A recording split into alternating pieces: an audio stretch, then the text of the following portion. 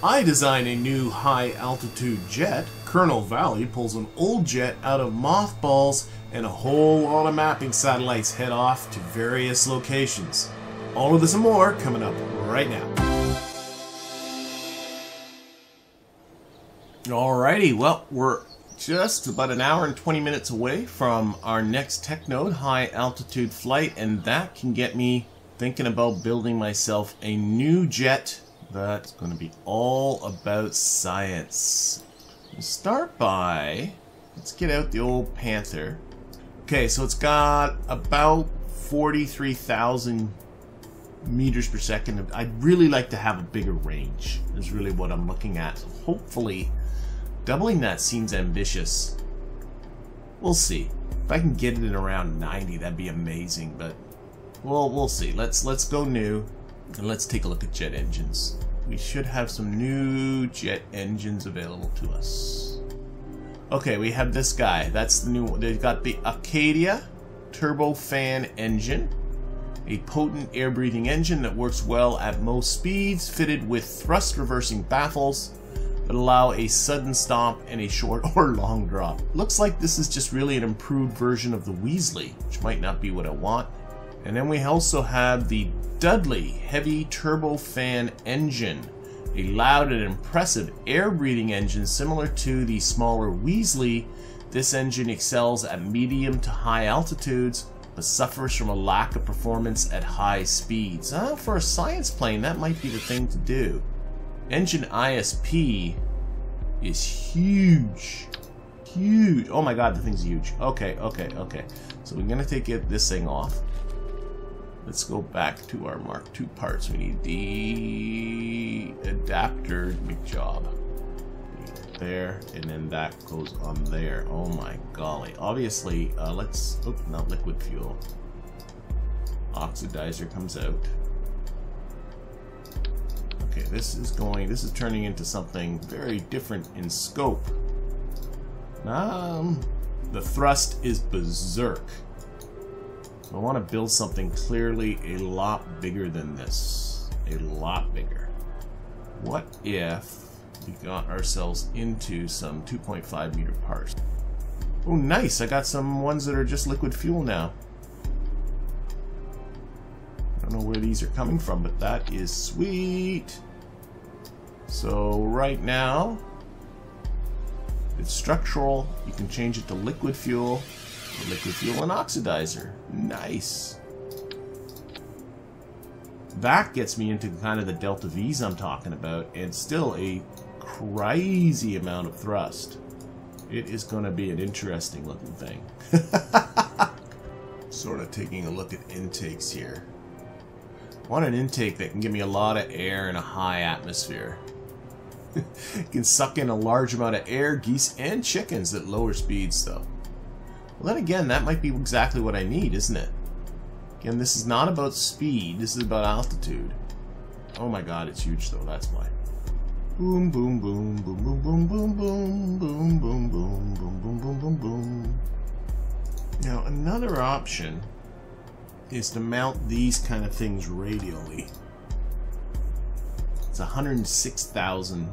That's a ton and lots of thrust. This is the kind of thing I'm thinking about. I don't think this is terrible looking. I don't think so. I think I've seen dumber looking things. That's always a good standard to set for yourself. As long as you can think of things that are dumber than what you're building, then, then you're doing a good job. That, I think, scale-wise is good. Still under the width for the runway. Thrust, I'm sure, is still fine. Yeah, thrust is fine. Okay, um, let's slap on some control surfaces. Alright, we're going to put an antenna in here. Uh, communications. Now, I can probably get away with... Okay, this is the one I have been using, and it has a speed of 25 kilobytes per second. We do have much, much, much faster ones. I need something that can stay inside the cargo bay and not get wrecked. This one is got potential. So this is the Communotron and I think that will stay inside there without getting wrecked. I think that is my plan. Um, and that is the Communotron HG-61 with a max speed of 253.53 kilobytes per second compared to the 25 kilobytes per second I was getting with that one. So I think that has potential. Okay, uh, sciencey stuff. If I get into science, we do have, I believe, this is the one that's been on the Panther that's been doing the wing experiment, but I am pretty sure I got other science I can do now. So, configure.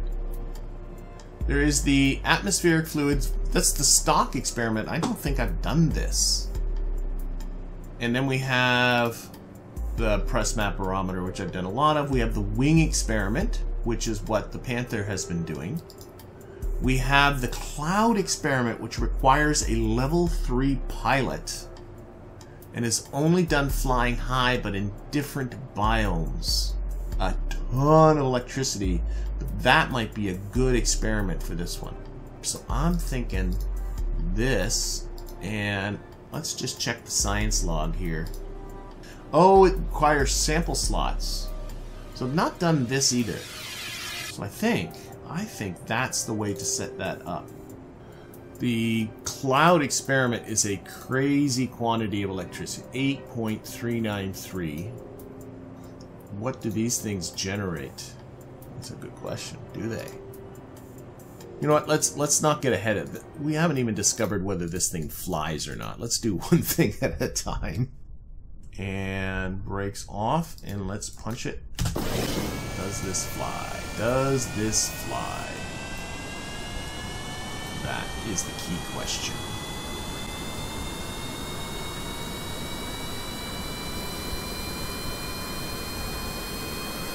We are going up.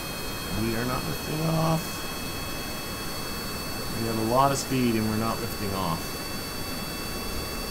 So that's not good. Oh, oh, now we... Oh, oh, dear, dear, dear, dear, dear. So clear this thing is going to need some work. Okay, um... Let's terminate that simulation. I don't like how low that lift is. That's kind of what's bugging me. That's very, very much bugging me. Alright, Valley and Madby. Let's see how this goes this time. No, still having trouble. Oh, oh, oh, oh, God, ding, dong, ding, dong, bong, come on, come on, yeah, yeah, yeah, oh my God.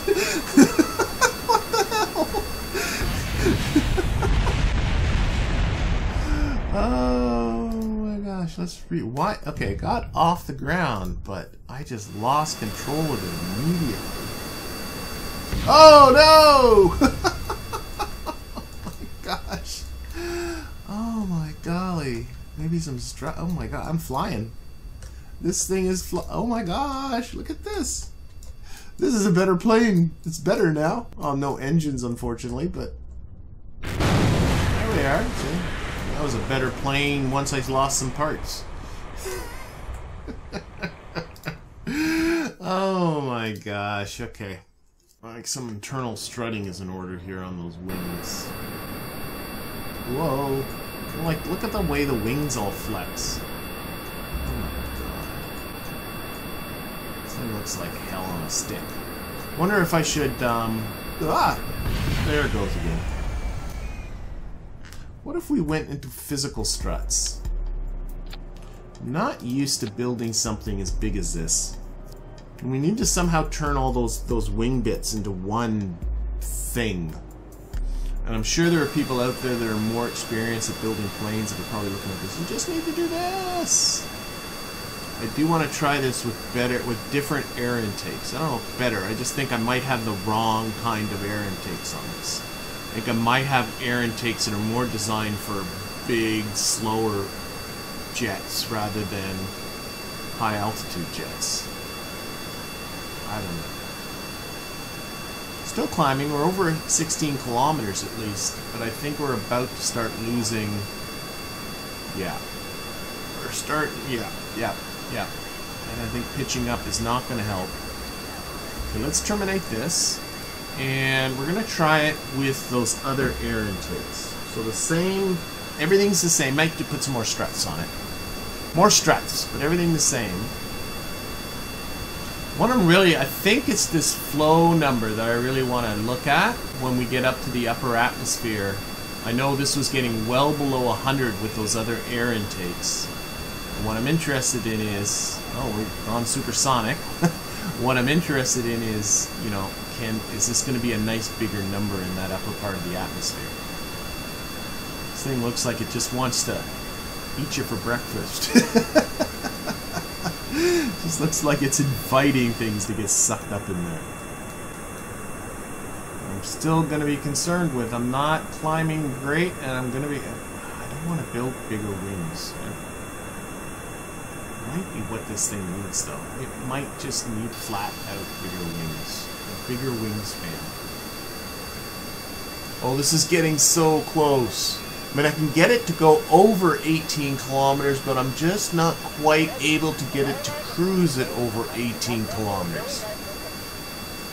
Alright, I'm going to try one last thing here, and that is actually to get rid of most of this fuel. Make this thing lighter. So these are being changed to structural parts, so there should be no fuel there, no fuel there, no fuel there, no fuel there surprising still quite a lot of delta V. Really watching this rate of ascent. You see it's dropping off here. 45 meters per second is my climb rate and you can see even the prograde vector dipping, starting to dip well below the plane icon. Question is, is can I get it level above 18 kilometers? That is the key. I can do that, I got it. Um, I don't know, it's going to be close. 17 and a half. Another thing, too, is maybe more air intakes. I know that seems ridiculous, but I don't know. Okay, that is 18 kilometers right there. Whoa, whoa, whoa. See, there's there's the issue. I gotta keep it above 18, but I'm doing it. I think I'm doing it. I think I just need to shed just a smidge more weight, believe it or not. That, with the combination of just a bit more air intakes, I think should make cruising up here pretty easy. So I went back into the VAB, I did that. I also added on some air brakes, and now I'm pretty confident I can just consistently cruise this into the upper part of the atmosphere, which is going to be its main role. But of course, it still has to fly around. It still has to land, so I thought I would just test its maneuverability in and around the KSC. By the way, this is iteration 11 of this particular plane. I spent hours on this one, way longer than I should have. And I didn't show you half of my trials and tribulations. We'll try and bring it down in here for a landing, and it, well, I'm not lined up pretty well, so screw it. I'm going to just put it onto the grass beside the runway. If we can land on the grass, you can land on the runway. Oh, and there we go. Easy peasy. I think it could use a little bit more in the air brake department, but otherwise, I think this thing is done. Unfortunately, with all its new parts, it is going to take over 17 days to build, so uh, don't expect to see it too soon. So let's get to something that, for long-time viewers, might look a little bit familiar. Well, here we have a blast from the past, all the way back to my first season. This is a seaplane that I built to uh, rescue Kerbals from the water back when I had a contract pack that did that. Uh, it was the Giving Aircraft Purpose contract pack I believe I had, but I don't have anymore because it just hasn't been being kept updated, but I still do have this plane, and you can see at the helm here is Colonel Valley Kerman. It's an old plane. Uh, this is the only, I only had single player cockpits at the time. I actually put in more seats here by sneaking. I think I should be able to open this up and show you uh, command seats in here, which I'm not using now, that I used to put in my rescued Kerbals because I just didn't have uh, other means to do it. But we do have a contract, and uh, this is to gather rare science results from Kerbin's water. And if you go over this, it looks, you know, surface water landed. Uh, do a surface sample, do a crew report, do a EVA report, you would think, oh, that, that's, that's a pretty easy peasy thing to do. Uh, and I thought it was too, until, as I was doing some of my Panther missions, I started to notice these waypoints here saying, suggested water landing site. Um, so there's two up here at the North Pole, towards North Pole, one down here towards the South Pole. Uh, we're heading towards one of the ones at the North Pole. I'm really hoping just one of these is fine. I thought this contract was going to be one of these like, oh well, next time I put something down in the water, I'll just do these things and we'll get the contract. Uh, yeah, turned out not to be quite so easy, so, uh, well, we're taking out a vessel. I could have actually just ditched anything in the water, I assumed, and just recovered it, but I figured what I'd do is take a vessel that actually is designed to land and take off from the water and it's an old plane. and it wasn't exactly the most dependable thing in the world either, but oh, well, we'll see how it goes. Of course, it's Waypoint Manager that's placing these waypoints so that we can see them here. That's one thing I, in stock I don't understand why these waypoints here only appear in map view. It makes when you have them wanting you to go to a specific waypoint a real pain put it on the screen. I don't understand what the problem is. I do that very kindly, but it's staying. that has to be close enough. Seriously. Situation landed. We're landed. Or maybe because we're not stopped. Okay, it does not say situation landed, so I mean, I guess technically we're splashed down. I do a crew report. Crew report's running. It's time warp it away. I'm not sure it's giving it to me. Was I supposed to be? Okay, that oh, there's actually something there to collect too. but it's not checking off on the contract. No, now it says situation landed. I think I'm landed. This is landing. I call this landed.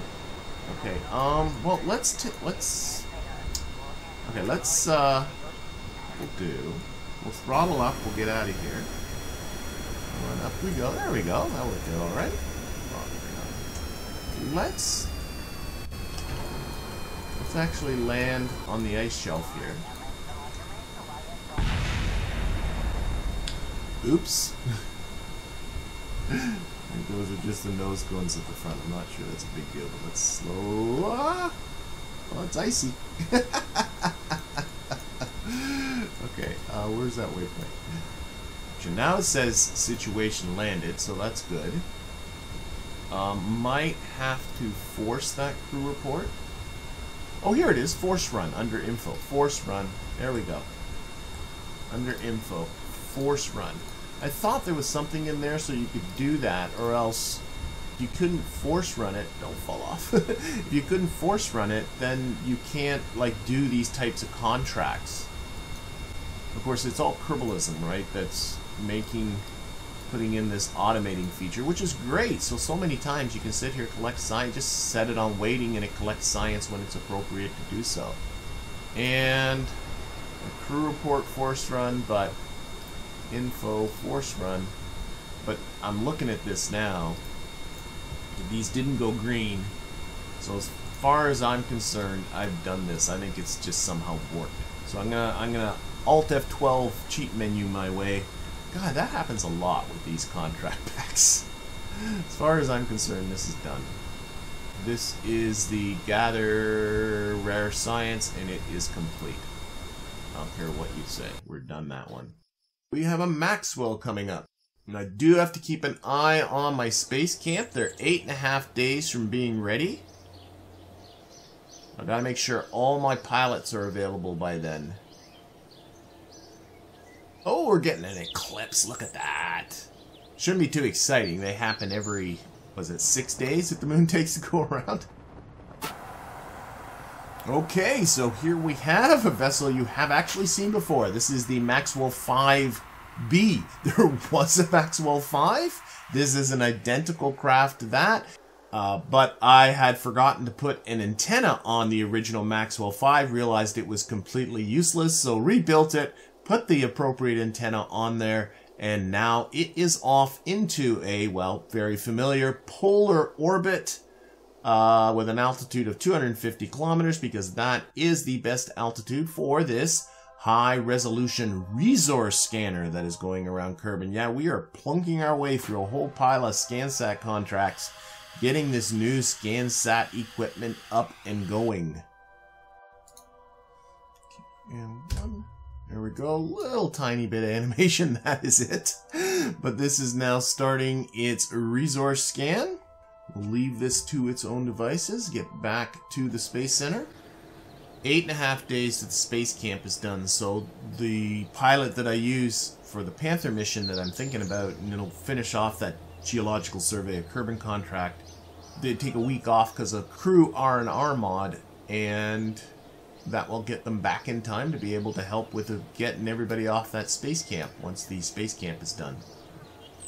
Yeah, I think so. Let's get in the space plane hangar. We'll do a Panther. Alright, so we're back here with the Panther Mark 1. And what's left on this geological survey is to go to the Badlands and the northern ice shelf. And that is it. And do surface samples there. And I'm thinking, I'm thinking I might, maybe, I'm not sure if this has the legs to do both, but I think we're going to find out. But I'm going to make the first target the Badlands. That should be the closer one. So what I'm going to do is I'm going to open up our big map again. We now have a complete biome map of Kerbin.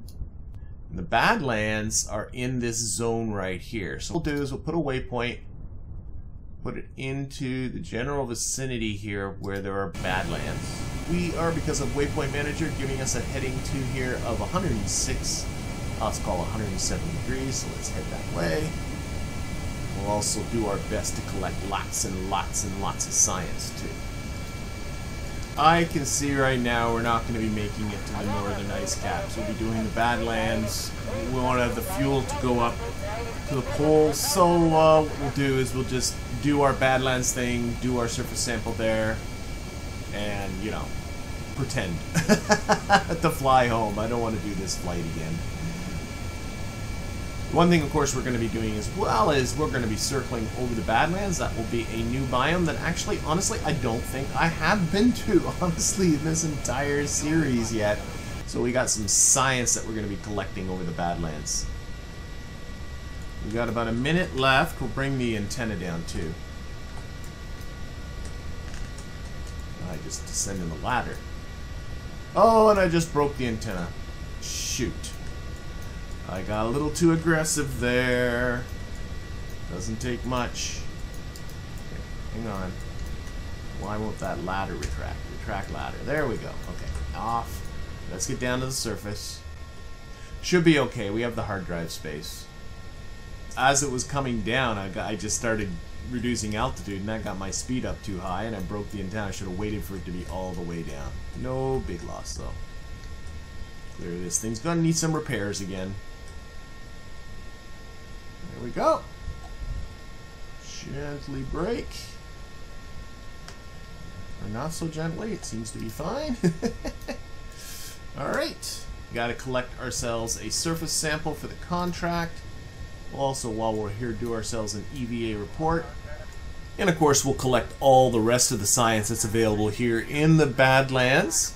But this will only leave the northern ice shelf left to do to finish off this geological survey contract, but that's going to have to be for the future. I can't afford the pilots anymore. I'm going to need my entire pilot roster in order to bring those space campers down in about a week's time. In the meantime, though, well, we got more mapping satellites. And that means it's time for another Maxwell. We are now up to Maxwell 6. This one being another high resolution altimetry scan, but this one is on its way to Minmus. And as the probe is virtually identical to the one currently orbiting Kerbin and the moon, uh, we're not going to spend too much time with this other than to watch it head off on its way to Minmus. Weird here, like Kerbal Engineer and the game completely disagree on how much delta V there is in this in this stage. The game says it's, or the Kerbal Engineer says 1,233 meters per second. This says 680. Um, and I'm noticing, okay, we are past where the game thinks we should be starting the burn. But I do have my X-Men script. Oh, now the X-Men script is starting to... There's something wacky going on here. Something's not right. And I don't understand what it is. There's nothing complicated in this. It's one fuel tank and then this uh, spark engine on here. So why does the game think I have less Delta V than in my... My script themes thinks things are fine. Kerbal Engineer thinks things are fine, but the game thinks there's a problem. I'm noticing the red section's going down. that is so weird. so pretty soon everything's fine. And we shouldn't have a staging event, unlike what's saying here. There, now it's saying we're fine. And now the staging event is going to disappear. Oh wow, I have no explanation for that. That is so funny. Okay, okay, no more fiddling. These little spark engines, they have a lot of ignitions. I still have 12 ignitions left, so, but I do have to be a little bit conscious of that. All right, we'll do a tiny correction burn on our way there, but otherwise, uh, this guy is, we'll revisit you in a week. Okay, let's pick up another contract. Oh, here we go. Sentinel asteroid detection map. 15 asteroids endangering Kerbal. I oh definitely. Let's grab that. Let's grab that right now. Let's get into the AB. Let's build something. That telescope might be a good thing, just to do something different. I want to get into exploring those asteroids too. We're laying a lot of groundwork, but I want to start pushing out. Moon, Minmus, and near asteroids should be our targets. Have the Sentinel infrared telescope aboard? Research the designated orbit around the sun with minimal deviation. So, okay, okay, okay, that's cool. This is a little bit smaller than Kerbin's orbit. Map 15 asteroids with an eccentricity greater than 0.0. Okay, you just have to leave it there. Alright, so let's get ourselves together a budget. A Delta V budget. So I figure a budget, I'm getting per, uh, like 1708, but I'm to round that up to about 2k for my budget to be able to put it into this orbit. That's getting into the ballpark of what I need. Still got to think about electrical storage. I mean, at least planet oculation's not going to be a problem with this thing orbiting the sun rather than orbiting a planet, but I do want to work all that kind of stuff. I also am slowly getting better at putting more attention into the comms network both the connectivity piece of it, but also the bandwidth piece of it. Uh, ended up going with this HG-55 antenna with its 15G rating and its 200 kilobytes per second transmission speed. Very similar to the HG-61 that you saw me install in that high altitude jet earlier in this video. And both of those antennas pretty much represent the top end of what I've unlocked so far. Should be good. This telescope takes a long time to collect its science. Kerbalism has it set up that it takes well over a year for it to collect all the science that it's going to collect. So we're going to have to make sure that this thing's going to last for a good long, long time. And here you can see me testing it in simulation mode, making sure that it does fly okay. I didn't introduce any silly imbalances anywhere. And of course, we're still going to do some tweaks to it, adding on lights and changing textures and trying to make the thing look good. Final weight came out to be about 1.5 tons, which I should be able to easily find a booster that can handle that. And while I'm putting on these finishing touches, I want to welcome aboard our newest patron, Mark Eisenberg. Thank you, Mark. Your support is greatly appreciated, as is the support of all of my patrons. And if you're interested in supporting this channel, well, one quick, easy thing you can do is make sure to subscribe if you haven't already done so. As well, there is a link to my Patreon page down there in the description should you choose to go there. But this thing is pretty much, I think, ready to go. Of course, it still needs to be built through Kerbal construction time, so we'll see it launch in a future episode. But, uh, well, I got one more launch to take a look at here. And yeah, we're doing it again. This is now the Maxwell 7, and this one is doing a high resolution resource scan. I'm gonna hit this right myself. Resource scan of the moon. Um, and I don't know, it's the same as all the rest of these. So this one is off to the moon. Nothing, again, too exciting. You have seen the scanner before because there is one all going around Kerbin right now. And yeah, I do have one coming up that we will be going to Minmus too. okay, what's going on in Kerbal Construction Times building base? We got puffs coming up, two puffs coming up in the next couple hours. Panther's still going to take a day to fix. And then the Dudley, which is that high altitude jet. It won't take 50 days. Don't worry about that. But then we got all these puffs. The next one's less than two hours away. I really got to start thinking of more things to build. I have three bays in the VAB that can do building, and I like to keep them all full, so I have to think of something else to build. All those puffs, by the way, is for getting my space campers back down. And that's only about two and a half days away for that contract to be done. So you'll be seeing that at the very beginning of next episode for sure. It's going to be interesting flying them all down. And speaking of interesting, guess what came up again while setting up my Munar injection? Same thing. Isn't that weird? Stock thinks I have 571 meters per second left in this probe on this stage. Kerbal Engineer thinks 1,268. I wonder what it is about this thing it doesn't like. There's nothing really wacky going on. It's this stage. And I mean, it's a fuel tank. Like, I don't know. Weird. Okay, I'm not to worry about it. I'm not to worry about it. I'm not to worry about it. And I suspect, like last time, it's to start this burn well, I think it's starting it on time, but uh, it's to be starting it late based on this prediction. I have no idea what the issue is. And it's not like, like these probes are all more or less slight modifications on each other. So I have done this configuration before with the fuel tank and then this re, uh, restock stack adapter and then it's just a very familiar spark engine down there on the bottom. But for whatever reason, the game doesn't like it. some point it's going to start to burn. there we go. Three, two, one, and go. Yep, and it's happening again. If you take a look at the navball and take a look at the red part, you can see that the red part is shrinking away. Very slowly uh, KSP is coming to realize that uh, it's calculating this wrong. And although it's saying I don't have enough fuel to do the burn, it's uh, adjusting its mind is what it's happening. You can also see that there's a, it's saying that there'll be a staging event in there. And as you can keep watching, you'll see that that will disappear as well. Hey, now everything is in the green. Anyway, we'll catch up with this guy with its Munar insertion. I should have the Circat program, so run Circat Periapsis. Beautiful. And let's just take a look at what our project, projected inclination is. So we'll select a maneuver here. And 0.96. So let's see. Maybe just tweak the normal component of this a little bit.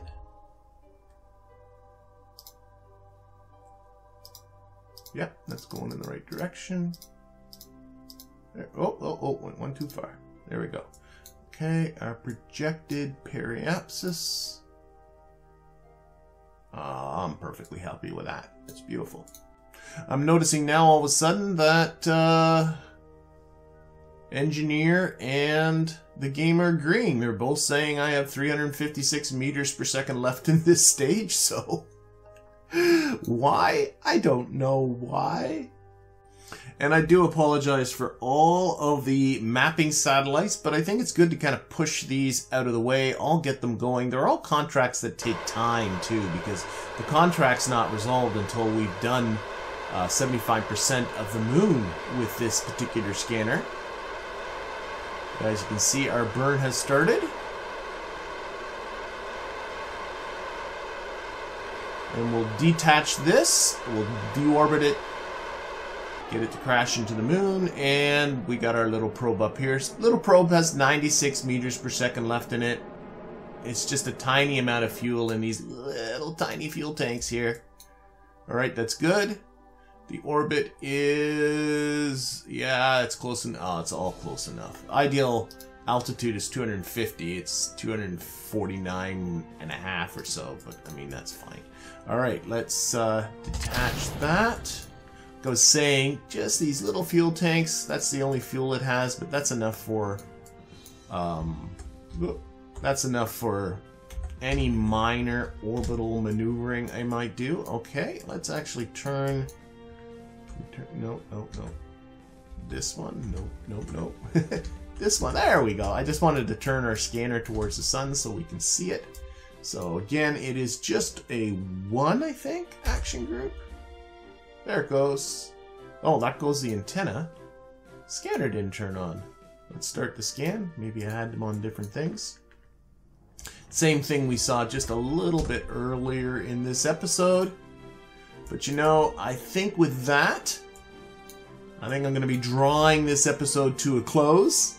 Make sure to join us next episode. I got 16 space campers that all have to come down to the surface in my sketchy little space planes. Could turn into an adventure. But for now, I'm going to thank you for watching and hope to see you again next time.